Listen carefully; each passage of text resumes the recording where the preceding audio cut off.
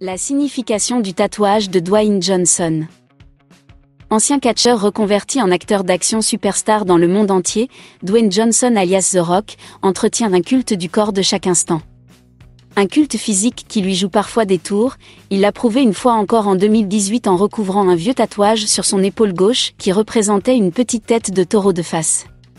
Un travail titanesque de 30 heures réparti sur 4 séances pour réaliser une énorme pièce, un squelette de tête de taureau, mais à l'apparence beaucoup plus intimidante et macabre. The Rock explique la signification de son tatouage, la corne est toujours devant, elle représente le fait d'aller de l'avant. Quant à l'œil, il représente le mana, l'esprit et le pouvoir. The Rock accorde une importance particulière au mana, le mana c'est tout.